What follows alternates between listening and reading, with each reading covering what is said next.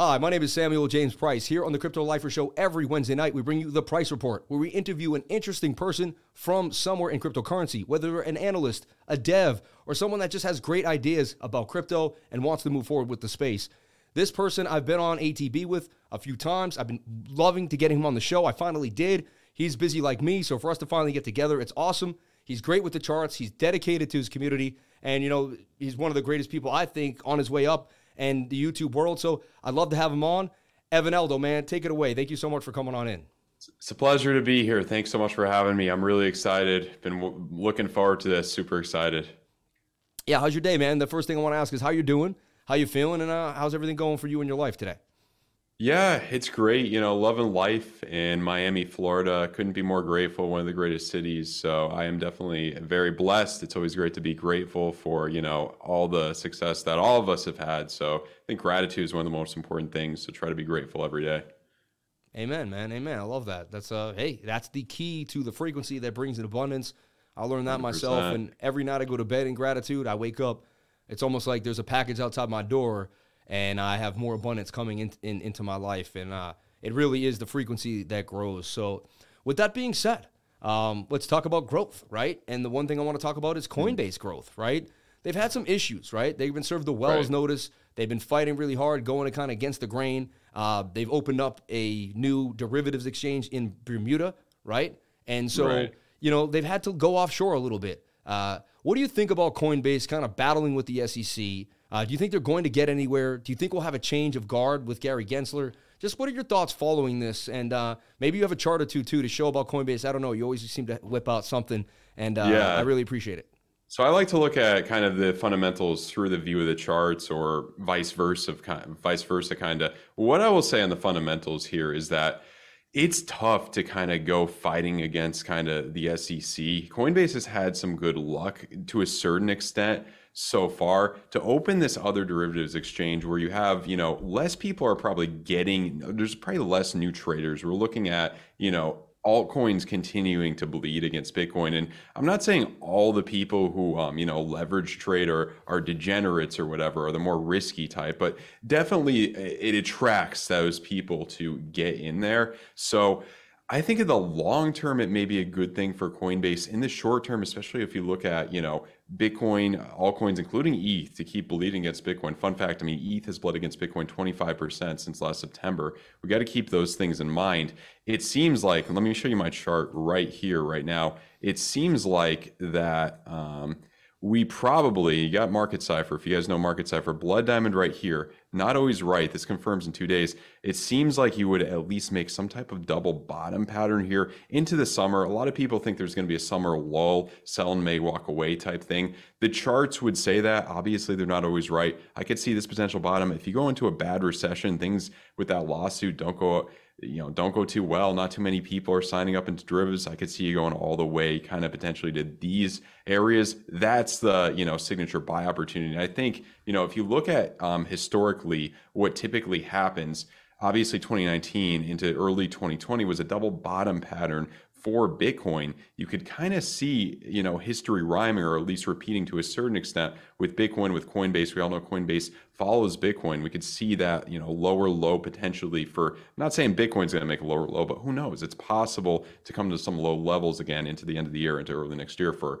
a pristine buying opportunity. Very good buying opportunity. Yeah, I also see too, there could be a right shoulder there. There's a chance too. One thing I've yeah. noticed too is, you know, you get banks collapsing, Bitcoin goes up. All coins don't go up as much then Bitcoin takes 100%. the tump, and then they go down with Bitcoin. So like because they don't sustain yeah. that growth, because the money's not flowing in, just like you showed, you know, and uh, you talked about with Ethereum bleeding. Uh, when you see the Ethereum bleeding, and you can tell there's only been a collection of, of charts like Casper, Kaspa, uh, Zen token. There's been like a handful of like 20 to maybe 30 coins that have just been actually on their own bull run, just absolutely ripping. Yeah. But for the most part, you know, 90% of all coins are suffering, right? They're not able to because it's not a fixed amount right? It doesn't. They, we don't know their actual supply, right?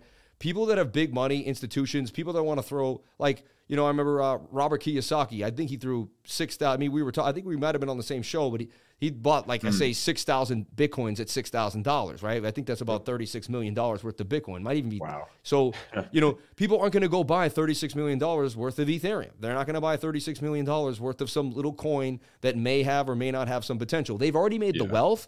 They want to keep that wealth, right? And Bitcoin has shown that. Funny, I was going over a chart today.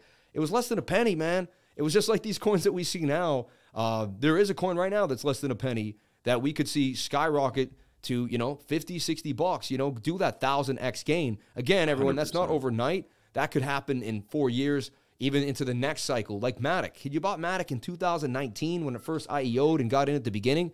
It was less than, it was like a penny, less than a penny or around a penny. Yep. And you would have to have held it.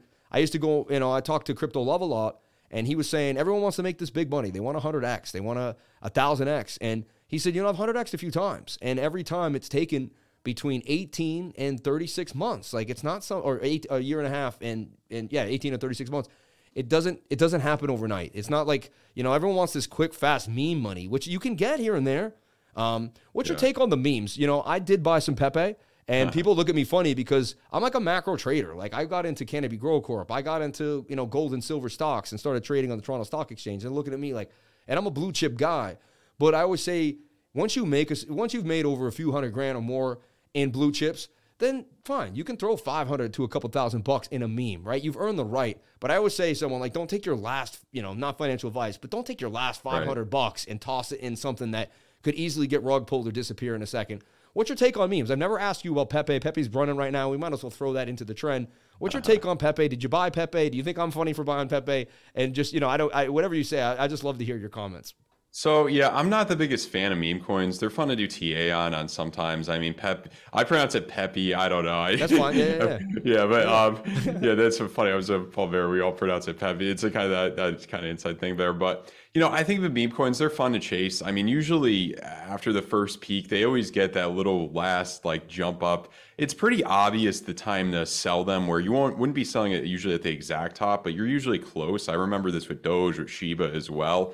Um, if it's like that, everybody, you just look at Twitter. Everybody's posting about it on Twitter. That's usually the time to get out. Usually, you don't get out at the exact top, but it's usually in the grand scheme of things. You look back six months later, it's an amazing place to kind of get out. So, the other thing too that I want to talk about in terms of like altcoins or higher risk things. Obviously, you know, we talk about Bitcoin, Ethereum.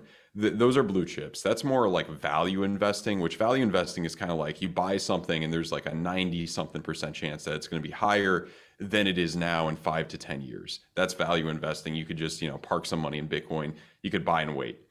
Venture capitalism is a little bit different, and that's what the altcoins are. Venture capitalism is where you may buy five of them or 10 of them that have really good fundamentals, and you know out of those 10, you know, bad luck happens. Businesses fail all the time. There are businesses with incredible fundamentals that just have terrible luck sometimes, and they they fail they don't do well. And you know i'm sure there's an alternate reality where matic maybe didn't jump up as much as it did and it didn't mm. become the big altcoin. So obviously you could look in hindsight and say okay if i bought a ton of matic back then i'd be a multimillionaire but the safer way to do it would be five, buy five or ten coins that had good fundamentals similar to matic. You would know out of those you know five or ten maybe three would go to zero four would be sideways at the same price now and two or three would be between 100 to 1000x that's the best kind of strategy i think which is the venture capitalism strategy that nobody really talks about. You want to kind of hedge your bets.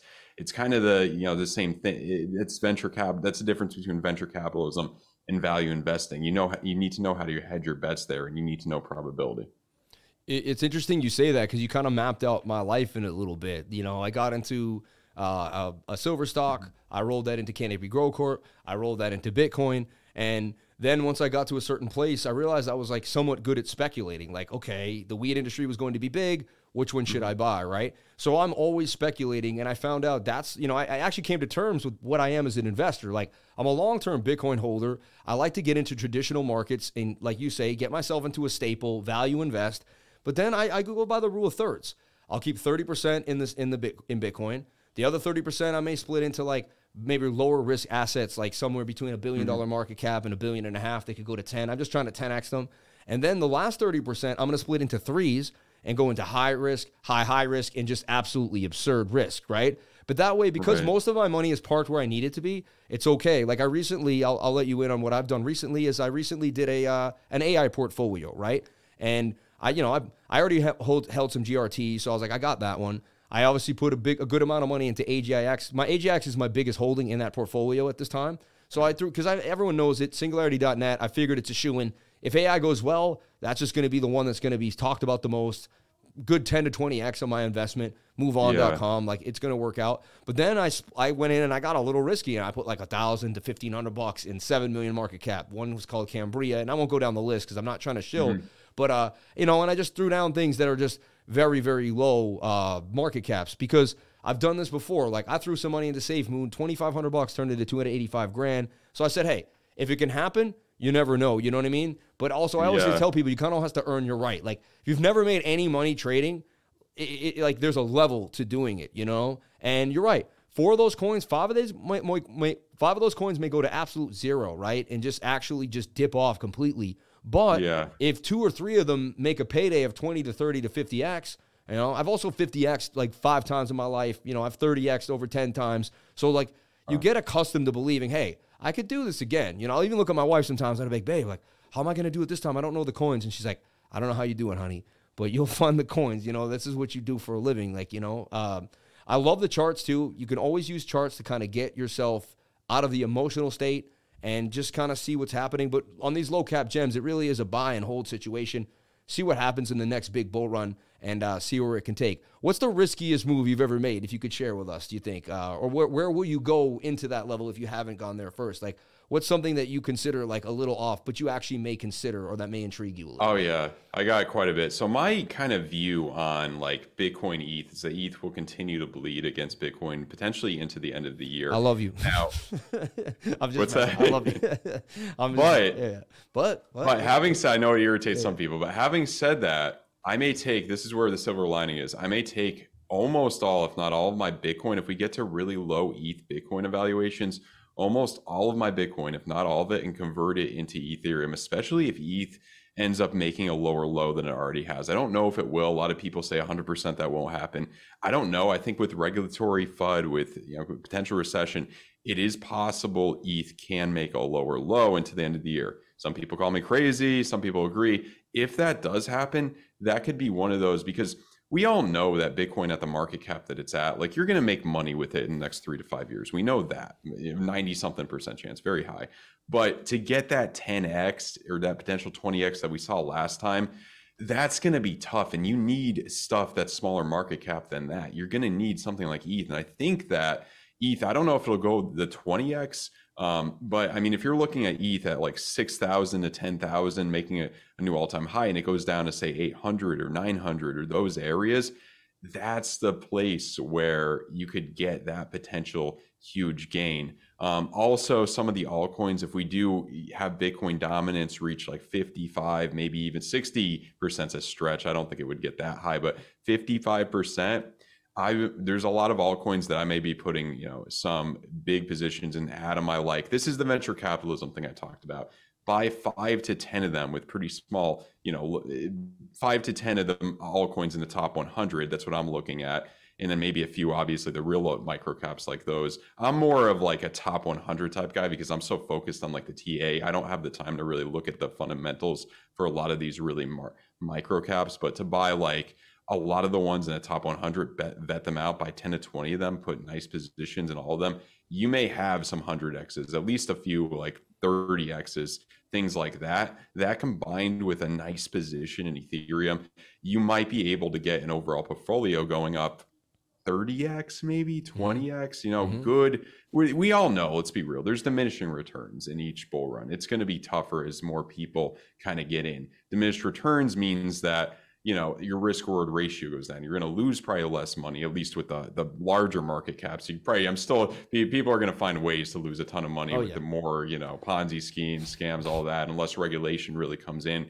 into the end of the year and kind of cleans those out. But even then, there's probably going to be you know more a lot of tokens still going to zero. We know that, but the main thing I would say, the riskiest thing I would say is towards the end of the year, if ETH bleed, continues to bleed against Bitcoin, really goes down, converting almost all my Bitcoin into ETH and just hoping for that 10 to 20x potentially. That's a great. Uh, that's really good insight. I appreciate that. See, I'm gonna. I'm a little uh, adverse to that just because I bought Bitcoin so low, and I don't want to mm. pay a tax. Like if once I flip right. that to ETH, I'm gonna pay a severe tax, and so like, yeah, I'm I'm banking on the idea that my I can keep my Bitcoin holdings get up to a, substantial amount of Bitcoin, right? I buy like a couple thousand dollars of it every other few days whenever there's a nest. Like right. yesterday in that dip, I went and just grabbed a couple. And I some I do it on the live stream a lot. Like you'll see me, I'll just be like, I'm grabbing it here right now. And uh, I make a lot of buys on the live. I build bags on the live. Like, I'll, like today, I wow. was adding to Casper on my live stream, CASPR. I was adding to uh, what other coin? I was just adding. I was adding to some other coins too you know, and I say, hey, this is a good place for me. Oh yeah, Kaspa, I was adding to today on the live stream too as well. So it's uh that's why it's cool. You know, you can I try to be as transparent as I can. There's way more going on in my trading group, but you know, because it's just I'm doing a lot, so right. you can't. There's no way you could see it all in the live. But I like what you're saying. I like the insight here. Uh, I do believe what you're saying is correct. For me, just for where I bought Bitcoin, I don't. I, I it's a little adverse. What I'm banking on right. is this: that I'll hold a substantial amount of Bitcoin and I'll be able to use it as collateral. Five, seven years from now, you know, say, hey, I have this amount of Bitcoin. Bitcoin's at, you know, half a million to, you know, whoever, maybe 300 grand, 200 grand, wherever maybe. it may be. Right. And, and they'll look, oh, this guy's sitting on 3 mil, 10 mil, 20 mil, whatever it is. And then they'll say, well, he made a smart decision already, right? He beat inflation. And there'll be some right. bank that will let you park a smart contract of your holdings and let and lend you maybe a stable coin where you can then go buy real estate with, right? Watch the real estate appreciate over time and then unlock your Bitcoin back on out. Never have to sell the Bitcoin, not one bit. Um, another guy was telling me the other day, uh, back to Coinbase, right? Uh, number one, I'm going to ask you two questions here. Uh, one is, would you buy Coinbase stock? Right? You know, is that something you'd ever consider? Or sounds like I don't think you would. I just I don't know. I'm, I'm interested because I don't know the answer. And number yeah. two, uh, what this gentleman was telling me is he's he parks his money in Coinbase, but Coinbase will give you a loan, and you can take a loan out on you know. And he took so he took like 30 grand loan out against his crypto on Coinbase. That's not a taxable event. So he got cash liquid and he didn't have to pay taxes on it. I thought that was pretty smart, pretty ingenious. Would you ever consider doing something like that? And would you ever buy Coinbase stock? Is that something that you've ever thought about? Yeah, so Coinbase stock right now, based on what I'm looking at, is a little bit too risky. I'd rather buy Bitcoin itself mm. right now at the moment. It follows Bitcoin. Coinbase, I believe, is a bit of a more volatile version of Bitcoin. I know some people that bought Coinbase at the IPO. They got completely wrecked. They would have been so much better off just buying Bitcoin and learning. They were mainly people that were older. They didn't really know how to use hardware wallets or that. Figured it'd be easier just to buy Coinbase. Right now, I wouldn't, but into the towards the end of the year, if it looks like the S and P 500 is kind of bottoming out, if we take a big hit with that, if we take a big hit with the Nasdaq, end of year, early next year, I think the place would be really good to get into Coinbase. I, I think we shouldn't overcomplicate it too much. You know, it kind of defeats the purpose of Bitcoin, uh, you know, being your own bank, those type of things to invest in Coinbase stock. But you know, I think if you're going to be, if you're into crypto, if you're trying to invest in crypto, I think the best thing would be be your own bank, learn how to use a hardware wallet, those type of things with Bitcoin. Then maybe sprinkle a little bit into Coinbase or some other, you know, ventures that you like. Um, as well. I forget what was the second question you, you asked? yeah, just um, you know, it was uh, you know, would you buy? Would you ever like borrow money against any of? Your, Oh your, yeah, you know, would yeah. you ever borrow money against uh, your Bitcoin holdings? You know, you may not Coinbase or anywhere. Is that something that ever intrigues you? So you can take profit without selling. You know, and uh, or yeah. is that too risky for you? Again, um, you know, just just an interesting so, question. You do have to deal. I've done it before on Celsius back in um, a while ago, and you got to be careful because you know Celsius. I still actually have a loan that I borrowed against. I think I borrowed against half of it Bitcoin on there. Oh man, back in when Bitcoin was at like 30k or something before Celsius went down, and it's still trapped on there. But the what I borrowed against it with is actually probably worth now maybe not, but it was actually worth more than the Bitcoin, so it kind of worked out for me. You got to be careful with margin calls. You got to be careful with that type of stuff. If you really know what you're doing, you can do that, but you know that's like if you're really really wealthy and you kind of uh, where it's advantageous enough to avoid the taxes there but you got to be certain that you know i don't know if we're really there yet with bitcoin even with the volatility that it is if you're going to do it now may be the time but it's not impossible. I know margin calls be careful with that. It's not impossible for you to go down to you know 12k 13k michael saylor, michael saylor has done it. It's worked out so well it's worked out well so far but he's had to post collateral a few times. So you got to be prepared you know anything can happen. And it's more about kind of a risk you know type thing. That's that's basically essentially using leverage. It's a low leverage type thing but it is using leverage and you got to be prepared to hit those margin calls and hit those things. Now, depends what state you're in too, or how much you're being taxed at. If you're in California versus Florida, there's a pretty big difference in mm. capital gains taxes. It may be something you should research out there, but if you're in Florida, it may be not as advantageous. You know, uh, what some people, what I would say too, is like you got to look at like how many people, you know, in terms of taxes. A lot of people lose money, and if you're able to kind of make money in this game it shouldn't be the worst thing in the world to pay taxes unless you're in a state or a place in the world that you're just taxed insane at. If you're in a place like Florida, it's not that bad Massachusetts. Yet. Yeah, it's not that bad yet. So you got to really look into it.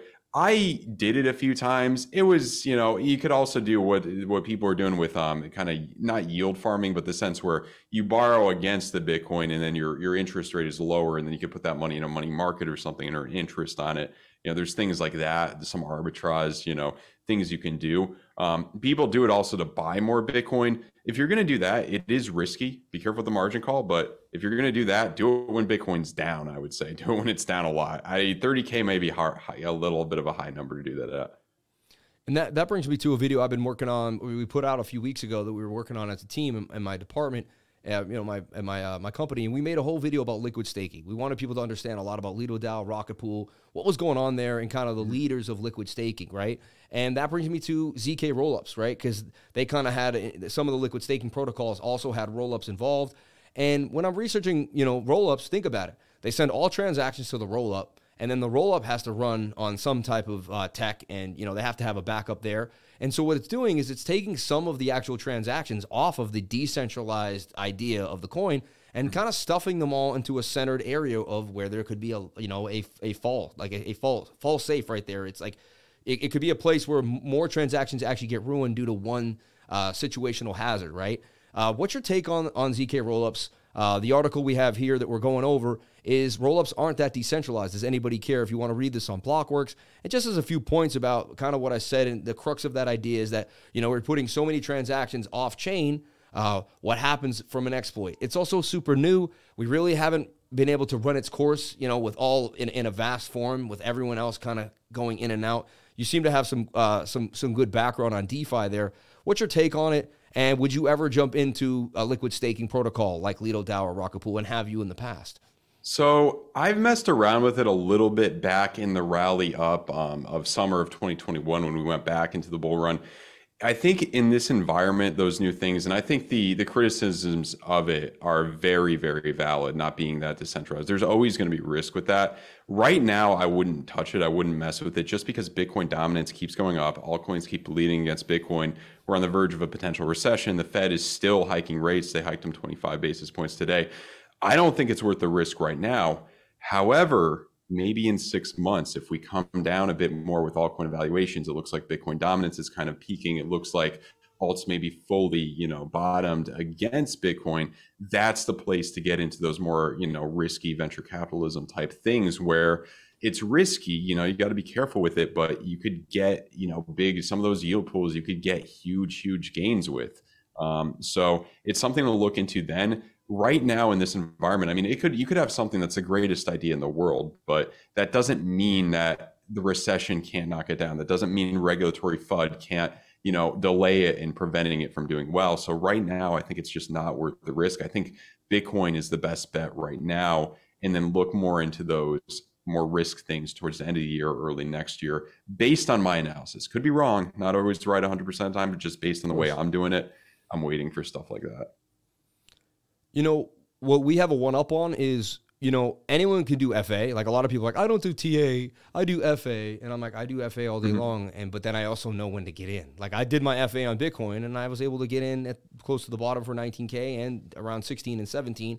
I also bought 3001. I bought 30,800. I bought the bottom three times just using literally the fear and greed index, stochastics Mm. RSI, RSI on like a two week to a three week chart. You know what I mean? And like, I mean, you're not gonna exact me and you. We're not gonna say we're 100, percent but I've been able to spot on the area where, as a trader, my indicators are telling me if you don't take advantage of this high probability situation, you're likely going to kick yourself. And you're probably like me.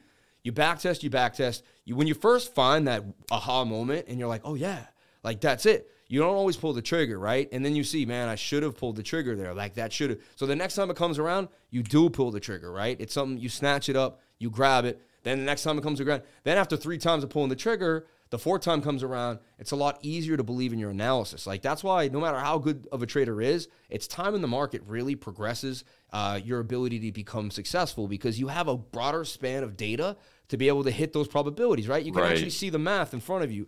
I love talking to you because I can see your mind working and it's really cool to see. Like you already gave me a great idea and you know something I was already thinking about, but it's yeah, we're gonna watch this ETH BTC chart, right? When we both get our indicators, and I'll probably maybe we should hit, hit each other up and see what you say. I'll be checking on your channel because if you do as much work as you do, and I respect your hustle and what you're doing with the charts, we're gonna probably come to a pretty close realization. We may not always be on the same page at the exact Right. week or two, but I bet in a month's time, like we're both gonna be like, hey, like you know, I got money flow. I got, you know, I got like I got one wave, right? I, I did market time for a while. I got a wave with a shorter wave. I'm looking at the idea that ETH is bottoming here, and that will be a great time to go into Rocket Pool or to do some liquid staking, right? Because Yeah. again, if you want to, you know, I, I don't, I personally don't do a lot of margin. I've never really taken margin. I grew up like Irish, working background, like never borrow money. you know, my dad barely used Yeah. credit cards until he got older. You know, like he always had a lot of cash on him, and like he made his money. So it's uh when it comes down to me, I don't like to take those risks. You know what I mean? If I'm gonna take a risk,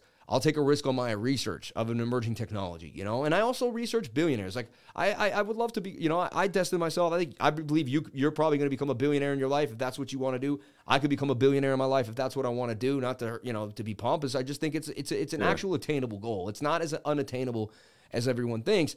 And if that's how you're going to do it, I research billionaires all the time, right? Jim Rickards, I want to research. You know, I'm, I'm, I'm reading about Warren Buffett. I'm watching all these different people, even some other people that uh, my dad put across my radar that were in like the Wall Street Journal years ago. One guy did some eye thing, and next thing you know, he didn't even ever thought he. People became billionaires that never even really thought it was somewhat possible, but they just kept rolling investments and rolling investments, and next thing you know, on paper, bam, they they're sitting on million billion dollars worth of assets.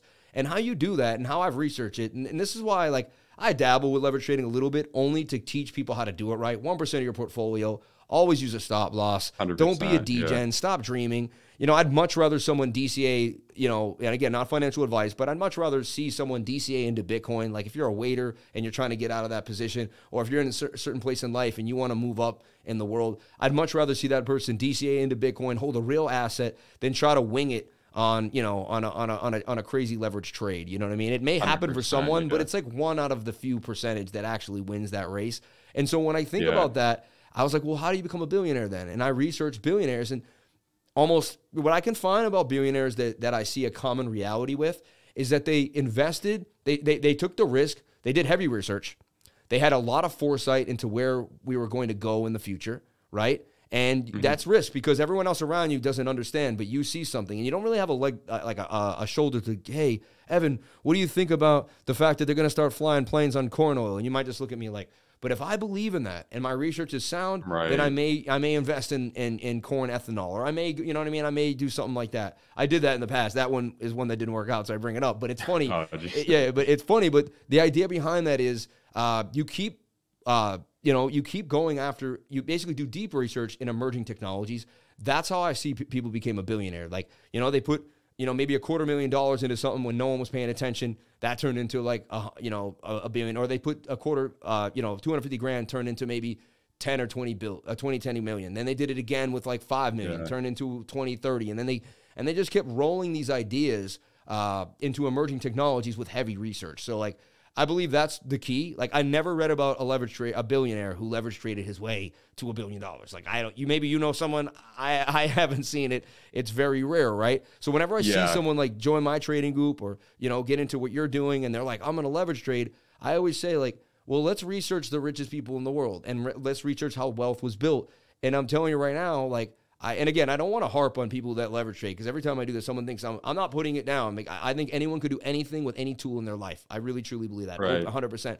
I'm just saying, in my research, I haven't seen anyone become a billionaire, uh, you know, degenning their way 100x to 50x. You know, I just haven't seen it. So You uh, wouldn't get your orders filled at that point. You'd start to get diminished returns even if you could get that high. Your orders would be your exchanges wouldn't take your orders because you'd have to you'd have to be too much money in the exchange. Amen. Amen. Yeah, that's why you have to slip in on the low and like and just kind of watch things uh, move to the Yeah. upside. You know what I mean?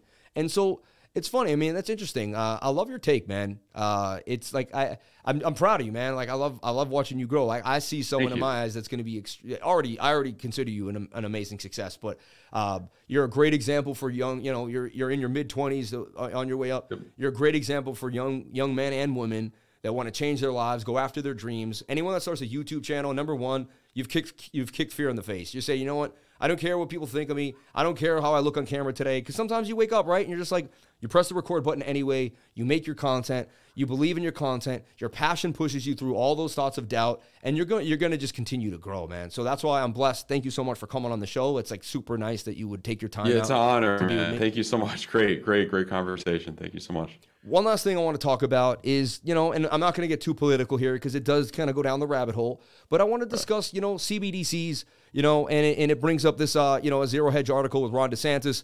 He's going to ban CBDCs. Is this uh, is this a virtue signal? Is he really going to be able to pull this off? Uh, what happens if the if you know he he has to can't take maybe a federal grant or something happens?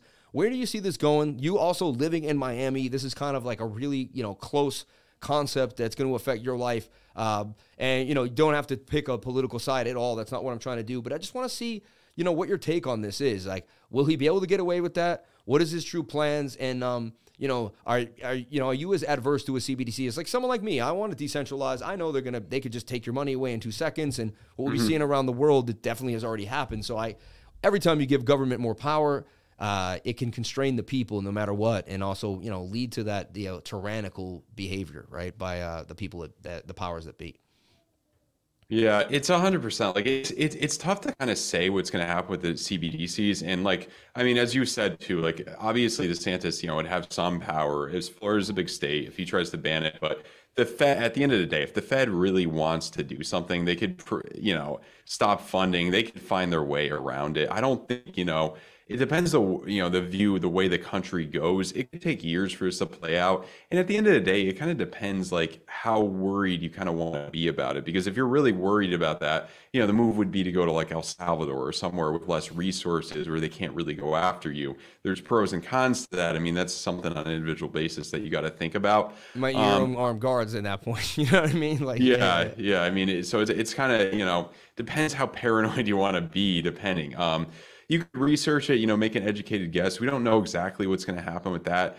I'm kind of more on the positive side of that. I think the only way that would really get implemented quickly is let's say AI gets really, really big and a lot of jobs are automated away. We go into like a bad recession where you're at the cusp of, of a depression. People are talking about, you know, things get bad. People are talking about like universal basic income.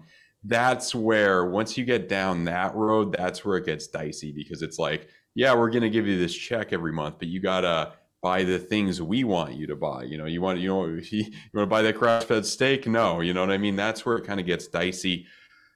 Eat bugs and be happen. happy, right? you know what I mean? Well, nothing and be happy. I mean, Yeah. that's where it could go down. Um, it'll be interesting to see what with you know what happens if DeSantis runs for president.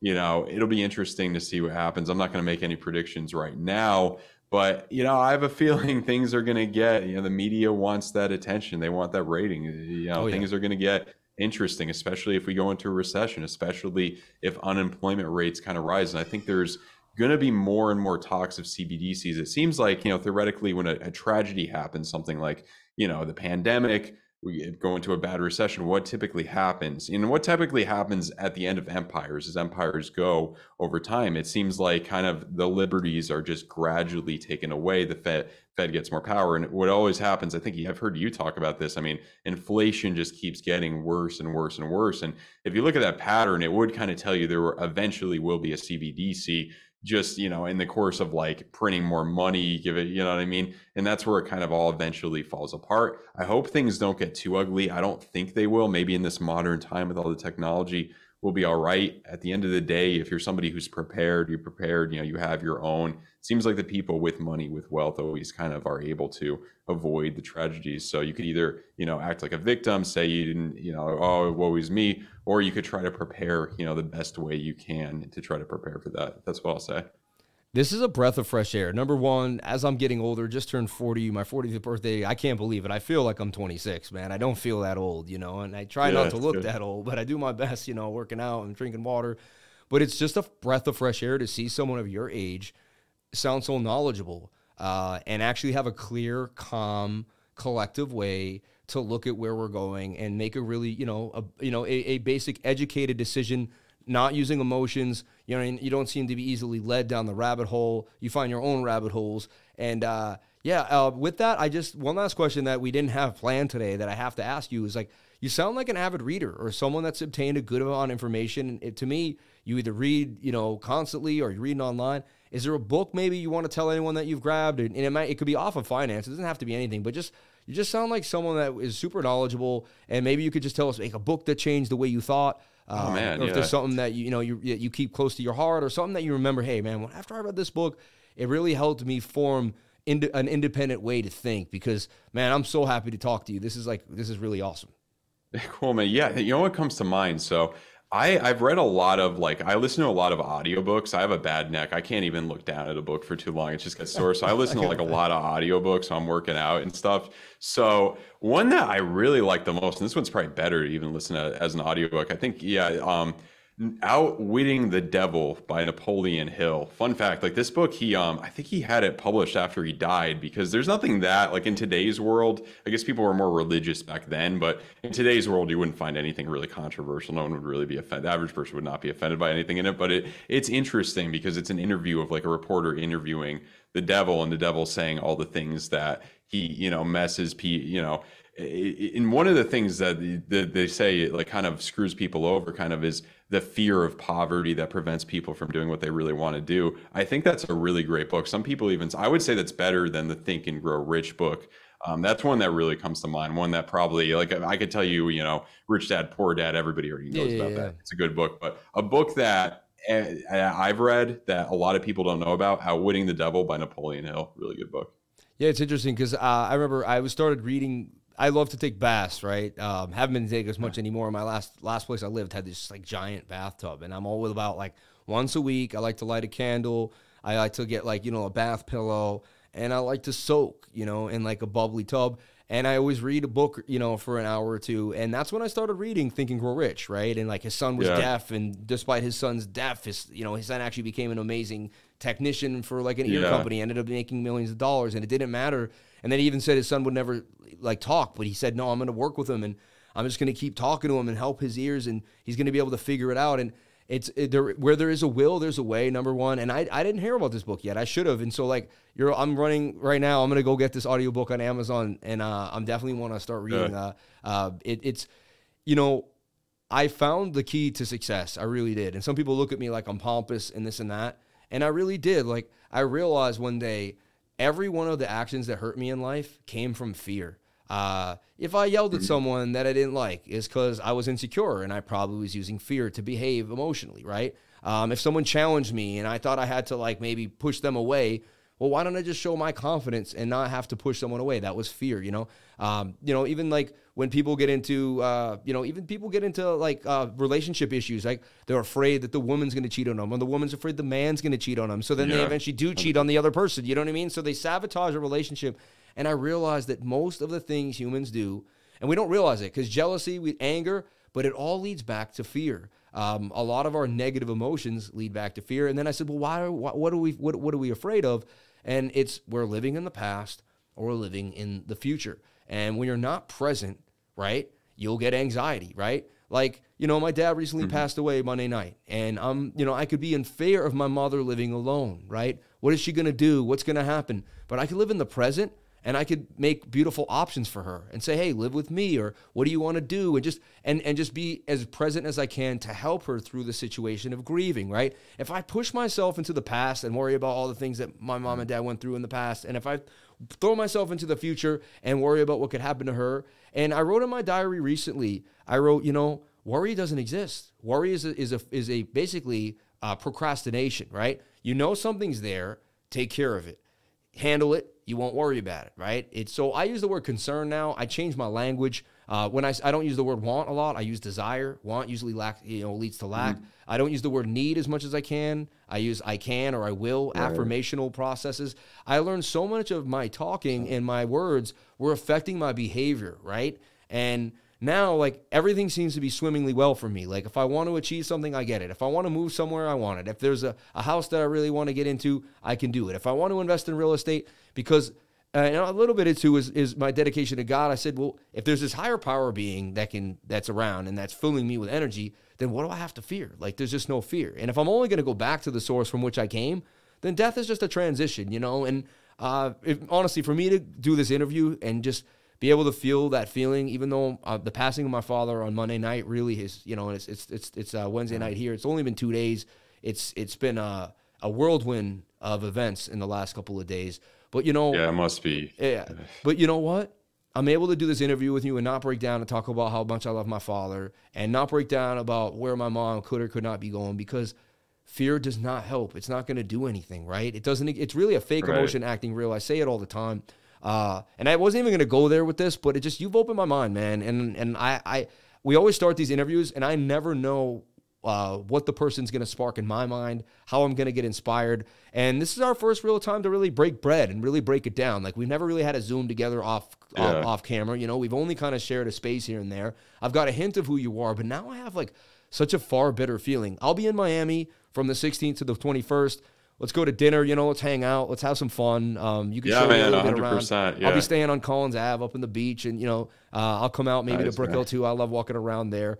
And uh, man, this has been a blessing. Uh, I just want to leave you with any last thoughts you want to say. Tell people where they can find your channel, where they can find your socials, and man, thank you so much, like for giving your insight. Uh, you're great educational uh, speaking. You know, you're very well spoken, and just yeah, just leave leave people. Let people be where they can find you. And uh, with that being said, man, thank you so much for coming on and stay blessed, Evan. Oh, it's been an honor. Thank you so, so much for having me. Yeah, really appreciate it, man. If you guys want to check out the m- one that I'm most on the most, youtube.com forward slash Evan Aldo. Twitter um, is at Real Evan Aldo. Those are the main two I'm on. I also stream on Twitch at the same time as YouTube. So either of those, some people like Twitch better, some people like YouTube better.